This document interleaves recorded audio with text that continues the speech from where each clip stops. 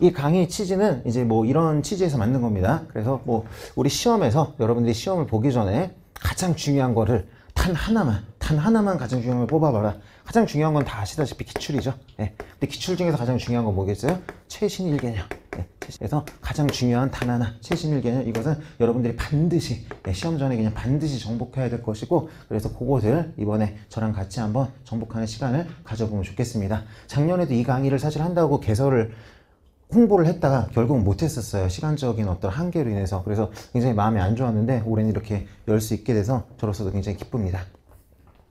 자, 그리고요, 여기 기출. 기출은 이제 굉장히 많죠. 근데 기출에서는 제일 중요한 건 당연히 인사처 기출입니다. 국가직 9급, 지방직 9급, 국가직 7급, 지방직 7급. 이것은 국가직이나 지방직 7급을 보시는 분들은 말할 것도 없고요. 그 시험이 아니라 뭐 소방이라든지 군무원이라든지 다른 시험을 보시는 분들이라 하더라도 결국 여기에 있는 문제들이 모든 어떤 시험의 참고 자료가 되기 때문에 우리가 보는 인사처 시험이나 인사처가 아니더라도 가장 중요한 그런 문제라고 할 수 있어요. 가장 중요하고요. 그 다음은 이제 이제 이곳은 이제 공통적인 거고 요거는 이제 자기 상황에 따르겠죠. 군무원을 보시는 분들은 군무원, 국회를 보시는 분은 국회, 소방을 보는 분은 소방 그럴 건데 적어도 이제 요거 그리고 이제 많이 보시는 요거 요거 두 개를 해드리려고 그럽니다.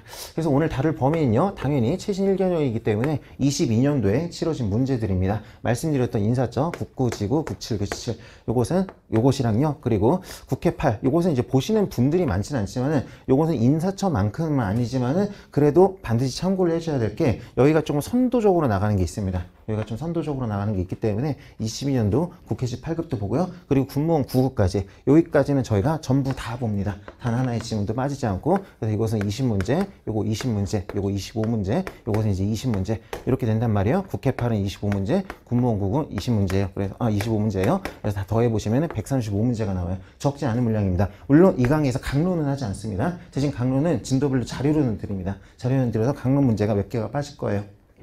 그런데 그렇다 하더라도 동영 모의고사 6회분의 이상에 해당하는 적지 않은 양이기 때문에 이 강의가 이렇게 뭐 양이 적거나 만만한 강의는 아닙니다. 사실 이틀 안에 끝낸다는 것도 상당히 열심히 해서 실강 이틀로 끝날 수 있는 양이에요. 그렇기 때문에 한번 열심히 해봅시다. 그리고 이제 조금 이제 우리 출제 경영관 좀 떨어졌다고 할 수 있지만은 군무원 7급과 변시도 이게 중요한 것은 가져왔습니다. 그래서 여기에 어차피 중복되는 지문을 굳이 가져오진 않았고요. 하지만 여기서 이제 커버가 안 되는 그런 것들은 이제 선별해서 일부를 가져왔습니다. 여기는 전부, 여기는 일부 이렇게 가져왔어요. 그래서 이것들을 이제 풀어볼 겁니다. 자, 그리고 이런 방식으로 강의는 진행을 해할 거고요. 이런 방식으로 진행하면은 이런 효과를 보실 거라고 생각을 합니다. 이런 자료로 진행을 할 거고요. 일단은요, 그 강의는 진도별로 나갈 겁니다. 진도별로요. 그리고 진도별로 나가려면요. 필수적으로 뭐가 필요하냐면요. 지문별로 나갈 수밖에 없어요. 왜 그러냐면은 실제로 문제는 4개의 지문, 4개 혹은 뭐 오지선 다형이라면 그 이상의 지문으로 이루어져 있는데 이 4개의 지문이 모두 동일 진도에 속하는 경우도 있지만 그렇지 않고 여러 진도가 혼합되어 있는 경우도 굉장히 많이 있습니다. 따라서 지문 단위가 아닌 문제 단위로 나간다면은 그것은 진도별이라는 말 자체가 이미 성립을 하기가 어려워요. 그렇기 때문에 모든 지문을 다 분해한 다음에 전부 다 진도별 순서로 다 재배열을 해놨습니다. 그래서 그런 진도별 순으로 나가다 보니까 지문별 순으로 가게 될 것이고요. 정교하게 지문별 순으로 나갈 거예요. 다만 이제 이런 경우는 있어요. 여러분들이 이제 조금 어려워하실 수도 있는 사례 문제들 이런 것들은 문제 단위로 보는 게 의미가 있습니다. 통으로 봐야 되죠. 사례 통으로. 그래서 이런 사례 문제들은 그냥 통으로 통으로 실어놨어요. 지문을 안 나누고 물론 사례 문제지만 껍데기만 사례 문제고 사실은 그냥 지문을 조합한 것에 불과한 그런 것들이 있어요. 그런 거는 잘라놨습니다. 근데 진정한 사례 문제라고 보이는 거 통으로 푸는 게 의미가 있다고 보이는 것은 요것은 통으로 넣었어요. 그런 식으로 좀 조화를 줬습니다.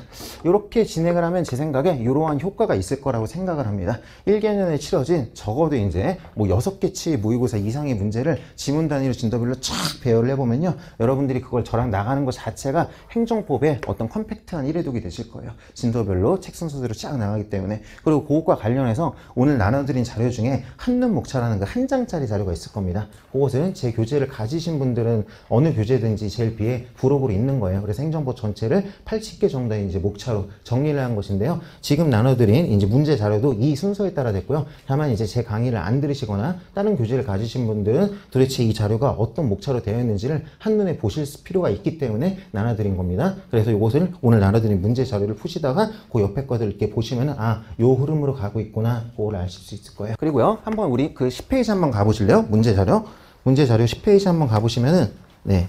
기본적으로는 그 81개의 테마를 목차로 이렇게 진행을 하고요. 다만 10페이지처럼 거기 보면은 32번째 테마로 부관이 나옵니다.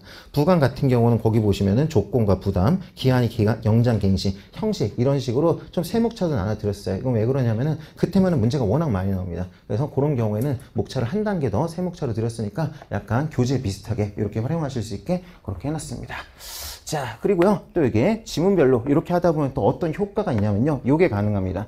보시면은 여러분들도 아시다시피 기출문제집 풀어보시면 중복되는 지문이 굉장히 많을 거예요. 근데 그게 문제 단위로 하다 보면은 여기서 봤던 지문이 나중에 여기서 나오고, 여기서 나오고, 뭐 이런 것들이 이제 경험을 다 해보셨을 거예요. 지문별로 하다 보면 그게 다 응축되어 있습니다. 한 자리에 다 모여 있어요. 그러다 보니까 여러분들이 굳이 노력하지 않아도 그냥 시각적으로 한눈에, 어, 뭐야, 똑같은 거 네 개 있네? 어, 겁나 많이 나왔구나. 똑같은 거 네 개가 이런 식, 이런 식, 이런 식, 이런 식으로 나왔구나.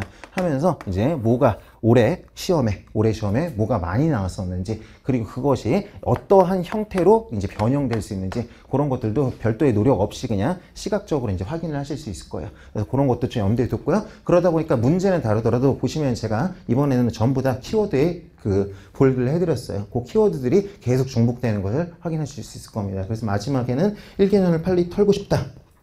그러면 거기 그냥 볼드하는 것만 툭툭툭툭툭 읽어가면서 그렇게 나올 수 있게 그렇게 자료를 구성을 해드렸습니다.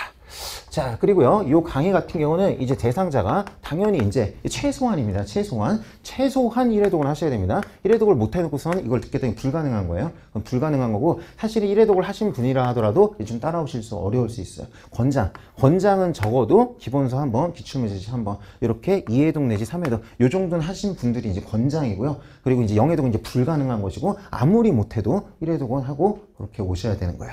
자, 그리고 이제 요거는 뭐 별다른 내용은 아니고요. 일종의 다짐 같은 건데 어제 이제 저도 강의 준비를 하다가 제 카페에 그런 게시판이 있거든요. 여러분들이 이제 공부한 것을 하루 공부 마치고서는 자기 공부한 흔적을 뭐 사진으로 찍어가지고 올리고 뭐 이렇게 뭐 오늘 공부 어떻게 했다 이러고 이제 주무시는 게 있어요. 제가 게시판의 글을 다 보진 못하더라도 적어도 그 글은 다 보려고 노력을 하거든요. 그리고 모든 글에 다 좋아요를 눌러요. 뭐 거기다가 제 욕을 하면 안 누르겠지만 굳이 뭐 제 욕을 거기다 쓰진 않을 테니까 거기는 다 눌러요. 근데 며칠 밀렸어요. 예, 왜냐하면은 설 연휴기 때문에 저도 이제 부모님도 뵈러 오고 뭐 그런 것들 하고 또 설 연휴에는 많이 올라오지 않을 거라고 생각했어요.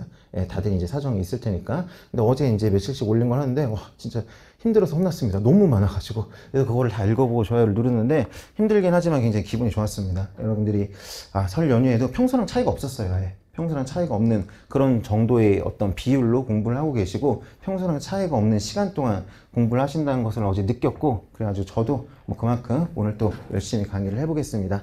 설 연휴는 저도 수험을 거쳐봤지만은 어떻게 보면 수험생들한테는 조금 이제 좀 외롭기도 하고 어떻게 보면 좀 애매한 시간이기도 합니다. 우리는 이제 세상이랑 우리는 그 달력이 달라요.